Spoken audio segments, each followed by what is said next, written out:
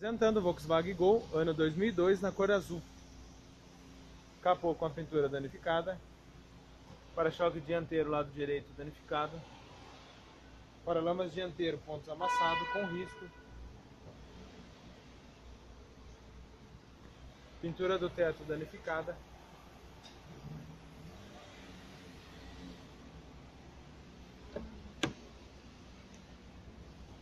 Porta traseira, lado direito, com risco, ponto amassado.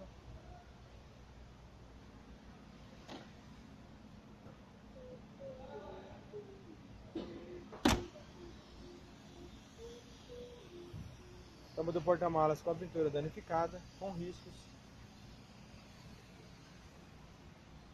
Porta traseira com risco, ponto amassado.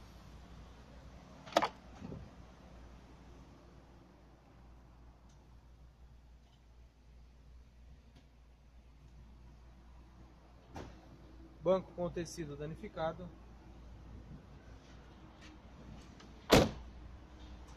Paralamas dianteiro lado esquerdo amassado e com riscos.